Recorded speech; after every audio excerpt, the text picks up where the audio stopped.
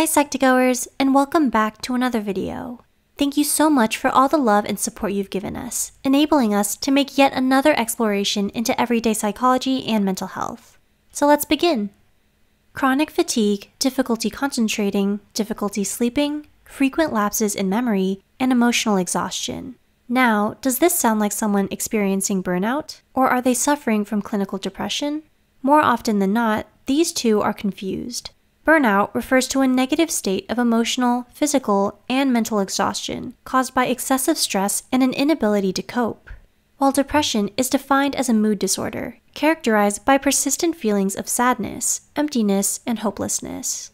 Because there's so much overlap between symptoms of burnout and depression, it can often be a challenge to tell the two apart. Mistaking one for the other could lead to a lot of harm, especially when trying to treat it. Before we begin, please remember that our purpose is to educate. Therefore, please do not use this information to self diagnose. With that said, here are seven important differences between burnout and depression. 1. Depression is a mental disorder.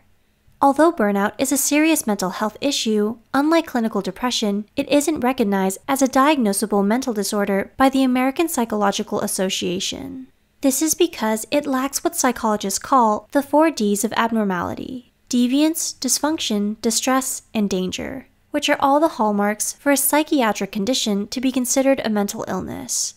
And though burnout certainly impairs our functioning and brings us a lot of distress, it's not as serious of a threat to our mental health as depression. What's more is, burnout only has three identifiable symptoms exhaustion, cynicism, and inefficiency while you only need to have experienced at least 5 out of 9 for a period of no less than 2 weeks to be diagnosed with depression. 2. Depression is more general. Does it help get your mind off your problems when someone tries to cheer you up? This may work for burnout, but not for depression. Depression is more general than burnout. Because burnout is brought about by prolonged periods of extreme stress, usually work or academic related, the negative psychological effects we experience because of it often go away once the stressor has been removed. Depression, on the other hand, is so much more pervasive because it permeates not only our school or work life, but also our social life, our home life, and even our enjoyment of our own hobbies and interests. 3. Depression doesn't always have a trigger. So, what triggers burnout then, you ask? Like we said before, burnout is most likely to happen at the onset of highly stressful situations, often in the school or work setting. Common examples include studying for final exams, getting into a prestigious college, or a big promotion at work. But when it comes to depression, there isn't always an obvious trigger for why you develop it. 4. Depression erodes your self esteem. What is the one characteristic only found in depression? It is a lower sense of self esteem. Many depressed patients struggle with feelings of worthlessness. All sense of purpose seems lost. Those who are burned out, on the other hand, feel the same loss in motivation, enjoyment, and interest, but their sense of self esteem remains largely intact. And though you may sometimes feel frustrated, disappointed, or down about yourself, it's usually only a particular stressor causing you to feel this way. For example, hating yourself only because you failed a test. 5. Depersonalization is common in burnout. Depersonalization is a persistent feeling of detachment from oneself. This occurs because people who are struggling with burnout have pushed themselves to the limit, physically, mentally, and emotionally, that it's now become difficult to function normally. You've been working yourself so hard for so long, treating yourself more like an unstoppable machine for productivity rather than an actual human being with needs, that you start to lose touch with yourself. You don't feel like yourself anymore, becoming numb to emotions because of how overwhelmed you've been with stress. 6. Burnout develops in stages. Did you know there are five major stages of burnout?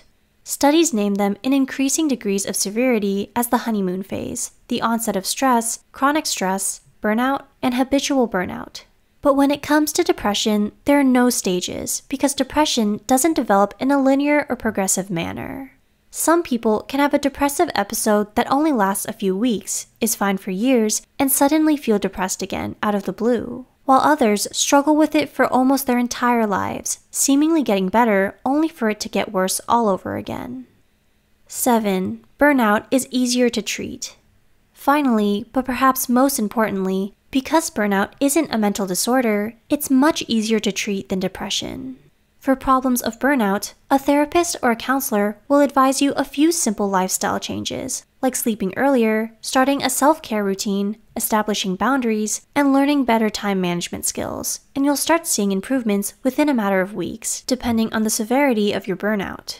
As for depression, common treatment plans include not only lifestyle changes, but also antidepressants, cognitive therapy, behavioral therapy, and psychodynamic therapy. We hope we were able to give you a little insight into some of the ways depression differs from burnout. Do any of these apply to you? Let us know in the comments below. If you find this video helpful, be sure to hit the like and subscribe button, and share it with someone who might. Don't forget to hit the notification bell icon to get notified whenever Psych2Go posts a new video. As always, thanks for watching.